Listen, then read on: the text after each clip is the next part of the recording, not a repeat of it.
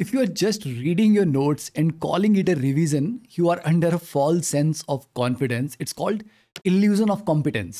आपको लग रहा है कि आपने पढ़ लिया आपको आता है पर आपको नहीं आता that is you not getting marks in your test and that is you not getting confident in your subject what you need to do is close the notes close the book and try to recall everything जो भी पढ़ा है try to note it down write it down book बंद कर दी and then once you're done see check your notes and देखो आपने क्या मिस किया? कितना आप रिकॉल कर पाए? Feels hard because that is actually where memory is built this is active recall if you are just reading it's like watching someone else lift weights but उससे तो मसल नहीं बनते ना। Active recall is like you lifting the weights if you just read दो दिन में भूल जाओगे।